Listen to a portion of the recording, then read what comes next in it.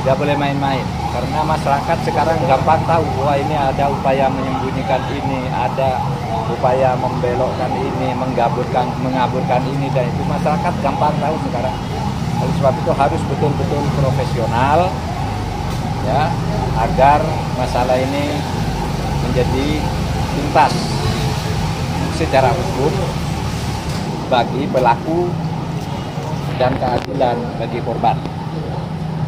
Kemudian kasus hukum lainnya yang terkait dengan ini tentu masalah kekayaan yang tidak sesuai dengan profil pekerjaan yang bersangkutan.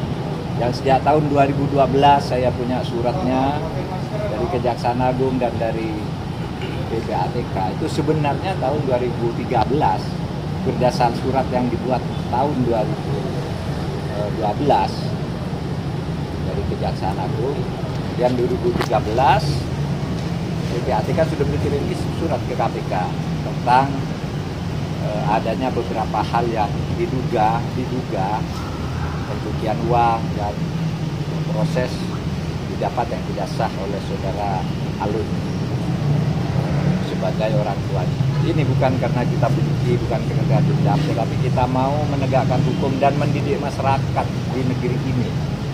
Ya, agar tidak menjadi hedonis, berfoya-foya dan memanfaatkan kesempatan.